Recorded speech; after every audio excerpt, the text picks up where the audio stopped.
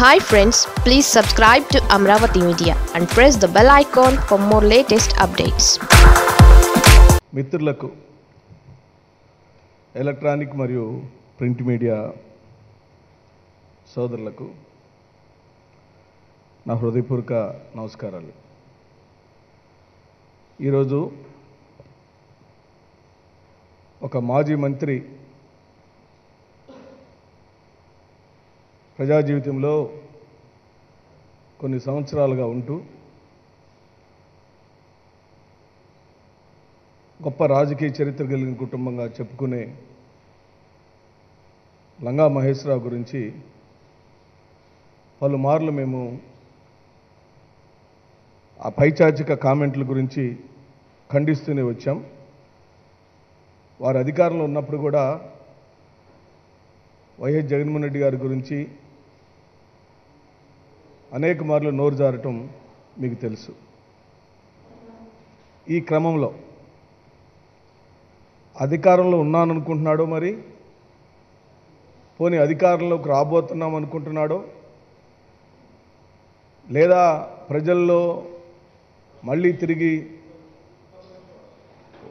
Telugu Desam party పట్ల చంద్రబాబు నాయుడు నాయకత్వం పట్ల ఏమన్నా కొంత మళ్ళీ తిరిగి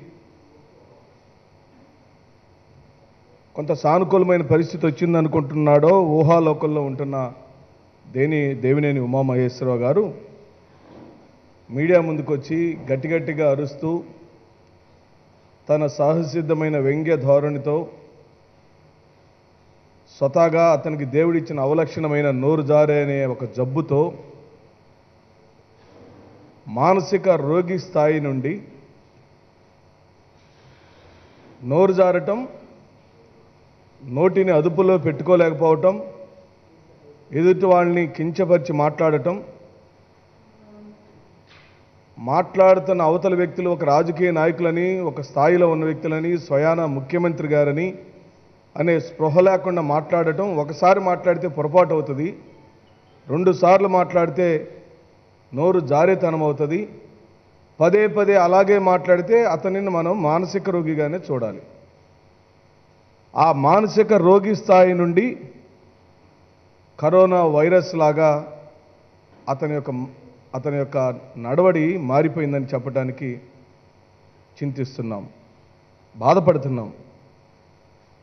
ఇలాంటి రాజకీయ నాయకులతో రాజకీయాలు చేయాలన్నా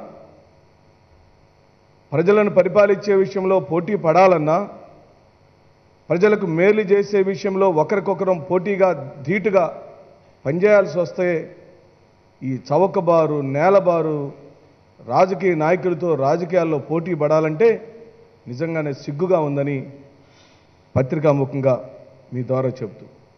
కానీ ఒకందుకు మాకు ఆనందంగానే ఉంది. ఒక దేనిని ఉమామహేశ్వరరావు ఒక బోండా ఉమ్- బోండా ఉమా ఒక బుద్ధి లేని బుద్ధ వెంకన్న.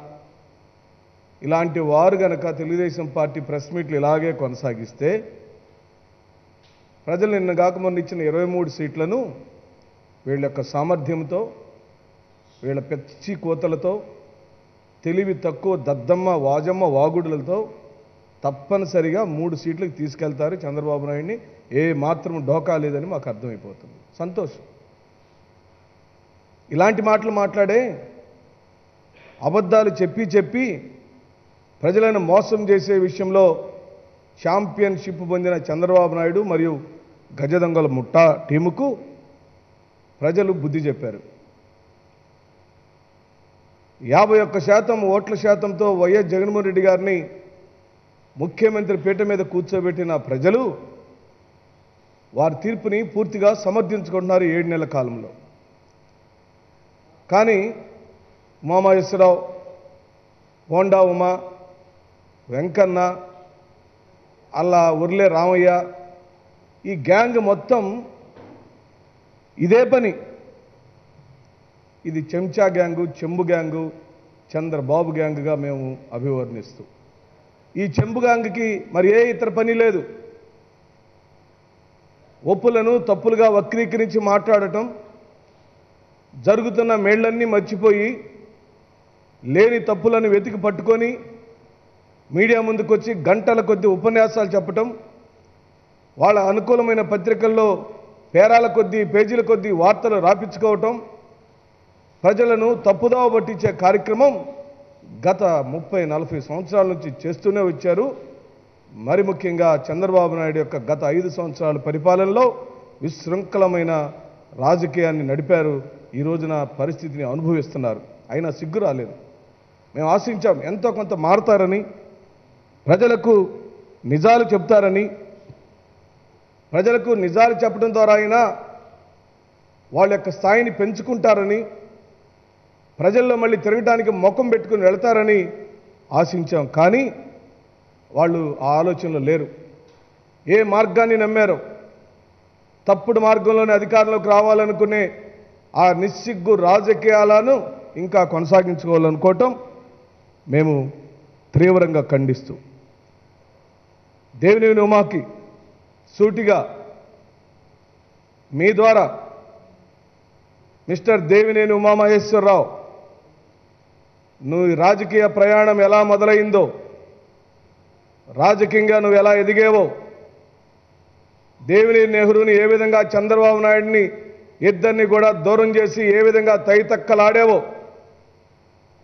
మా దేవిని అవినాష్ని అడిగితే చెబుతాడు నీ చరిత్ర. సోయానా నీ తమ్ముడు నీ అన్న కొడుకు. ఈరోజు వైఎస్ఆర్ కాంగ్రెస్ పార్టీ నాయకుడు. ఈరోజు నువ్వు మీడియా ముందుకొచ్చి నువ్వు పెద్ద మహానాయకుడిలాగా ఈ దేశాన్ని ఉద్ధరించడానికి పుట్టిన వాడిలాగా చంద్రబాబు నాయుడిని వెనకేసుకురావడంలో పోటీ పడే ఛాంపియన్షిప్లో మొదటి బహుమతి పడటం కోసం నువ్వు పోటీ పడు మాకు అభ్యంతరం లేదు. కానీ ప్రజలతో ఎన్నుకోబడిన ప్రజా నాయకుణ్ణి గౌరవ ముఖ్యమంత్రి స్థాయిలో ఉన్న వైఎస్ జగన్మోహన్ రెడ్డి మీద మాట తూలేవో నీ ఇంటిని చుట్టుముడతామని చెప్తున్నాం. స్వయంగా నేనే వస్తా. నువ్వు చెప్పిన పోలవరం తేదీలు నువ్వు చెప్పిన వెలుగొండ తేదీలు నువ్వు చేసిన పట్టిసీమ అవినీతి భాగోతం పడవ ప్రమాదానికి గురైనటువంటి సావులలో చావులలో నీ అనుకున్న హస్తం నీ బినామీలు నీ ఆస్తులు అన్నిటికి సంబంధించిన చర్చ మైలవరం నడిబొడ్డులో పెడతాం. జాగ్రత్త అని సందర్భంగా చెబుతూ. వెలుగొండ గురించి మాట్లాడబోయే ముందు నీ బుద్ధిని నోటిని కళ్ళని ఒంటిని ఏకం చేసి ఏకాగ్రత మాట్లాడి ఉండాల్సింది నువ్వు.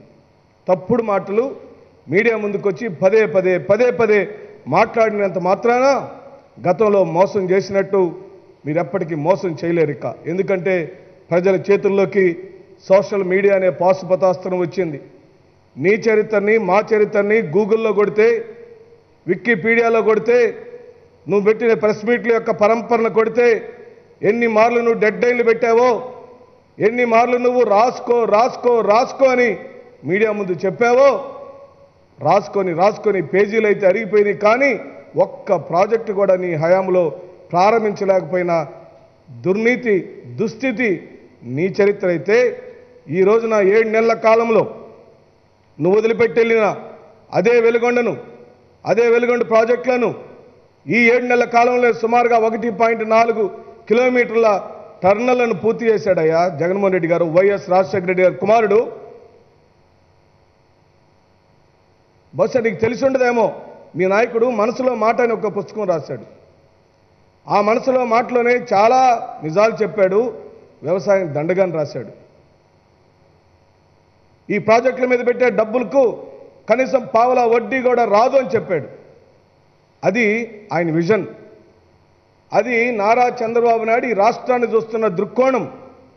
ఈ రాష్ట్రంలోని ప్రజల యొక్క స్థితి గతులను అర్థం చేసుకోలేని దౌర్భాగ్య ముఖ్యమంత్రి హైటెక్ పరిపాలనని హైటెక్ సిటీ అని కంప్యూటర్ యుగమని కంప్యూటర్ల కోసం హైదరాబాద్ నగరం కోసం ఆంధ్ర రాష్ట్ర ప్రజానిక యొక్క ధనాన్ని మొత్తాన్ని తీసుకెళ్ళి తైతక్కలాడాడు సింగపూర్ అన్నాడు జపాన్ అన్నాడు కజకిస్తాన్ అన్నాడు. చిట్ట చివరికి ముళ్ళ పదల్లో పిచ్చి చెట్ల మధ్యలో ఈ రోజున ఆంధ్ర రాష్ట్ర ప్రజల యొక్క ఆత్మ గౌరవాన్ని పెట్టాడు. ఆయన విజన్ అలాగుంటుంది. కానీ స్వర్గీయ రాజశేఖర రెడ్డి గారి యొక్క విజన్ ఆయన రెండు వేల నాలుగులోకి వచ్చే పవర్లోకి వచ్చే రోజుకి వెలుగొండ ప్రాజెక్టు యొక్క దుస్థితిని గమనించిన మా స్వర్గీయ రాజశేఖర రెడ్డి గారు ఆ ప్రాజెక్టుని ఆనుకొని ఉన్న ముప్పై మండలాలకు లబ్ధి చేకూరితే మెజార్టీ మండలాలు ప్రకాశం జిల్లాలోని ఇరవై మూడు మండలాలు మా ప్రకాశం జిల్లాకు సంబంధించినవి అయితే ఆ ఆయకట్టు భూములైనా ఆ ముప్పై మండలాల్లో నివసించే ప్రజలు అత్యధిక మంది సుమారుగా పది లక్షల మంది ఫ్లోరైడ్ బాధితులు ఉన్నారు. ఆ ఫ్లోరైడ్ బాధితులను ఆదుకోవడం కోసం ఏకైక మార్గం వాళ్ళు రక్షించడానికి ఉన్న ఏకైక మార్గం వెలుగొండ ప్రాజెక్టు పూర్తి చేయటమే అని నమ్మిన ఆనాటి గౌరవ ముఖ్యమంత్రి గారు శ్రీ వైఎస్ జగ రాజశేఖర రెడ్డి గారు తక్షణమే పనులను చేపట్టాడు. ఈరోజు నేను అడుగుతున్నాను ఈ పత్రికా ముఖంగా పాత్రికేయ పాత్రికేయ మిత్రులందరి యొక్క సాక్ష్యంగా అడుగుతున్నాను. రెండు వేల పద్నాలుగు నాటికి అనగా నారా చంద్రబాబు నాయుడు రెండో మారు మూడో మారు ముఖ్యమంత్రి అయ్యే రోజుకి ఆ ప్రాజెక్టు మీద మొత్తం పెట్టిన ఖర్చు మూడు వేల ఆరు వందల ముప్పై కోట్ల రూపాయలు. ఆ మూడు వేల ఆరు వందల ముప్పై కోట్ల రూపాయలలో మూడు వేల కోట్ల రూపాయలు వైఎస్ఆర్ హయాంలోనే ఖర్చు పెట్టారనే విషయం నిజం కాదని చెప్పి అడుగుతున్నాం. ఏ రోజునైతే వైఎస్ఆర్ మరణించాడో ఏ రోజైతే వైఎస్ఆర్ గారు ఈ భూమి మీద లేడని తెలుసుకున్న శక్తులన్నీ ఒక గ్రహణం పట్టినట్టు నువ్వు నీకు ముందు పరిపాలించిన కాంగ్రెస్ వాళ్ళు ఈ రాష్ట్రాన్ని గ్రహణం పట్టినట్టు పట్టి వైఎస్ఆర్ హయాంలో ప్రారంభించిన పనులన్నింటినీ పక్కన పెట్టేశారు. పూర్తిగా నిర్లక్ష్యం చేశారు. ఇది నిజం కాదా?